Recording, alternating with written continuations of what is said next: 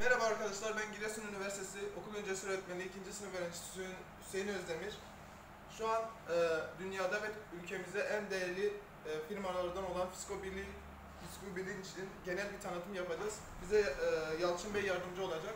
Öncelikle sizi tanıyalım, adınızı söylediniz. E, merhaba ben Yalçın Apaydın. E, Fiskobilik ihracat uzmanıyım. Yaklaşık 10 yıldır e, bu firmada çalışıyorum. E, ikinci soruma geçeyim. Fiskobilik'teki göreviniz E, Fiskobilik'te ihracat uzmanlığı yapıyorum. Yani uluslararası piyasalarda e, hedef pazar oluşturmak, müşterileri bulmak, ürünlerin satışı ve ihracata yönelik operasyonların hepsini kapsayan bir görev açıkçası. Teşekkür ederim.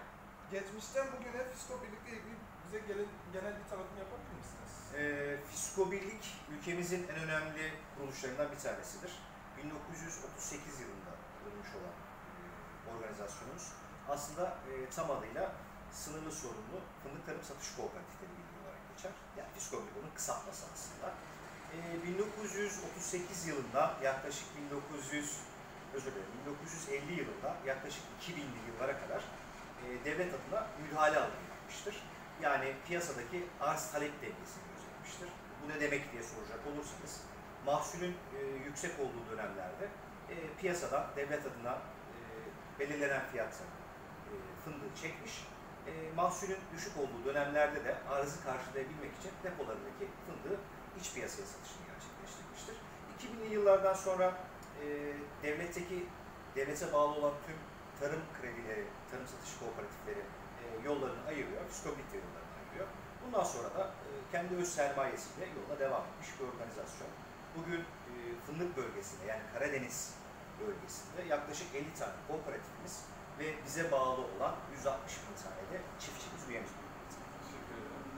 Bünyenizdeki, bünyenizdeki personel sayısı nedir, ne kadardır genel olarak? Ee, şimdi şöyle, Fiskobil'e bağlı olan 3 tane şirket var. Bunlardan birincisi e, Fiskobillik Entegre Fındık İşleme Tesisleri Anonim Şirketi. Yani şu anda burada çekimini yapmış olduğumuz e, yer. Burası kabuklu fındığın alınıp işlenip hem iç piyasa hem de uluslararası piyasada satışını gerçekleştiren burada yaklaşık 500 tane personelimiz var. İkinci şirketimiz e, Fiskobilik Sigorta olarak geçiyor. Özellikle fındık çiftçilerimizin bahçelerini e, don gibi hasarlara karşı koruyabilmek, e, onların zararlarını minimuma indirebilmek adına kurduğumuz bir şirket. Yaklaşık burada da 200-250 çalışanımız mevcut. Son olarak Fiskomar adı altında bir zincir market, süpermarket zincirimiz var. E, burada da yaklaşık 300-350 çalışanımızla ortalama e, 1000'e yakın personel Fiskobillik ailesi içerisinde görev yapmaktadır. Sektördeki yerinizi bize kısaca anlatabilir misiniz? Fiskobilik özellikle dünyadaki en büyük fındık üretici birliği. Bu kapsamda e, hem uluslararası arenada hem de iç piyasada marka değeri olarak çok yüksek bir organizasyon. Bugün Türkiye'de yerel marketlerde, yerel zincirlerde fındık ve fındık mamullerinin e, aranılan markası diyebiliriz. Uluslararası arenada da yaklaşık 25 ülkede ülke distribütörü olan e, ciddi ve büyük bir organizasyon. E, fındıkla ilgili genel bir bilgi verebilir misiniz? Ürün, ürünleriniz hakkında, yaptık, satışını yaptığınız ürünleriniz, kendinize ait olan ürünleri. Fındık e, sert kabuklu meyve olarak adlandırabileceğimiz ürün gruplarından bir tanesidir. E, Türkiye fındık üretiminin kendi başına ortalama %70'ini karşılamaktadır. E, fiskobilik olarak biz, bizlere bağlı olan çiftçilerden Ağustos ayında hasat edilen bu ürünü alır. E, özellikle entegre tesislerimizde kabuklu olarak alıp işler e, ve iç piyasa ve uluslararası piyasaya satışını gerçekleştiriyoruz.